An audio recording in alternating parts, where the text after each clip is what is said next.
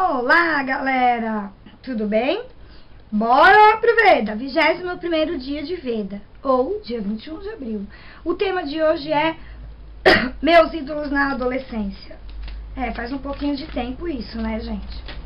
Meus ídolos, meus ídolos na adolescência, na minha adolescência toda, foram dois. A Xuxa, que foi por um bom tempo, e o Sandy Júnior que são mais novos do que eu, mas eu já estava no finalzinho da adolescência e fui embora. Eu sou apaixonada, sou fã, sou fã deles até hoje, tenho todos os CDs, todas as coisas. É, mas o meu ídolo mesmo da infância foi a Xuxa. Acompanhei a Xuxa desde a época que ela era da TV Manchete, ela foi pra Globo, foi pra de manhã, foi pra de tarde. Foi...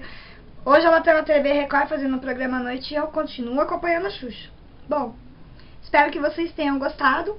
Quem gostou, clique em curtir pra mim. Pode deixar os comentários aqui abaixo, gente. Para pra pensar um pouquinho, ver quem foram seus ídolos na, na sua adolescência. Todos os comentários que são postados no meu canal do YouTube eu sempre pego para responder na sexta-feira. Tá bom, gente? Beijo, até amanhã!